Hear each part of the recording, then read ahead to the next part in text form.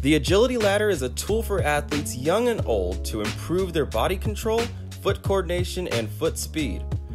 This video is going to show you the drills to improve those things, as well as show how the ladder applies to your game.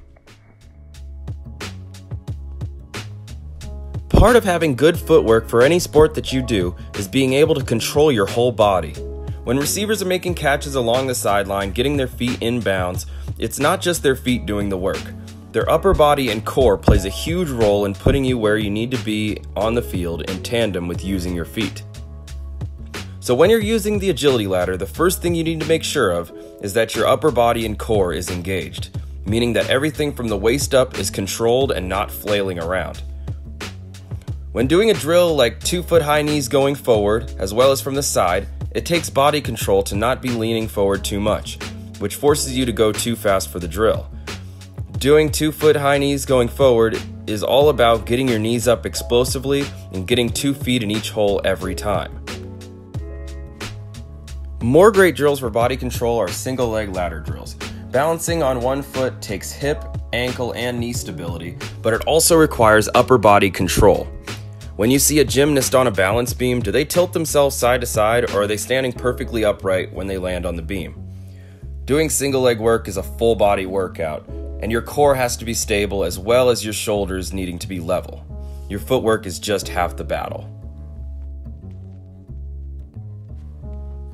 The reason soccer players can make incredible juke moves while dribbling the ball with their feet, and NFL running backs can make defenders miss in the open field, or if NBA stars can use their Euro step to slide between seven foot big men in the paint, is that they have the ability to put their feet wherever they choose.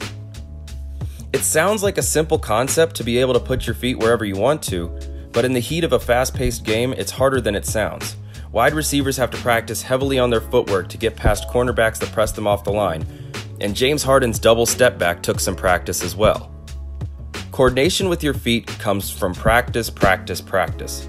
Here are some of the key drills that you need to do to coordinate your feet. We'll start with Icky Shuffle, and this one is one of my favorites and, in my opinion, the most important ladder drill. Step in with two, step out with one. This gets you used to cutting off of your outside foot. It'll also hone your ability to change directions at a rapid pace.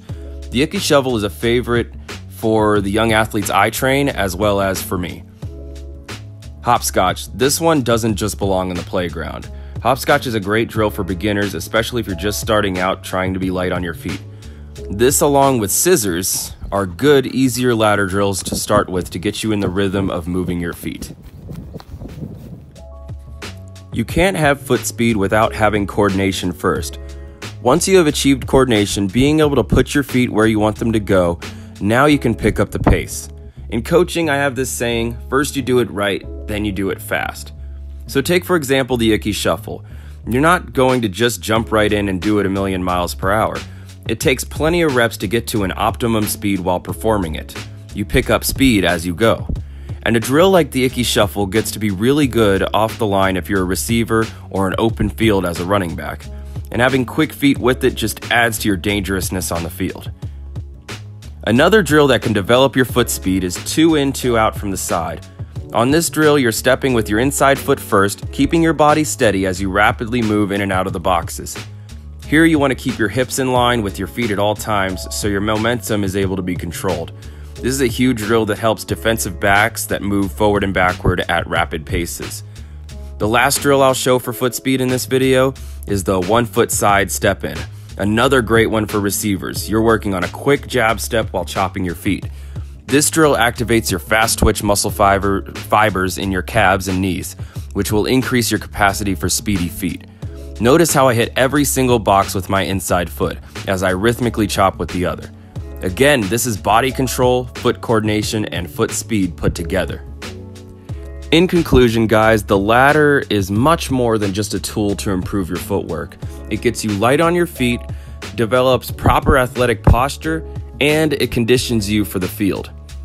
So remember to like this video and subscribe for more athletic training videos, and don't forget to get better today.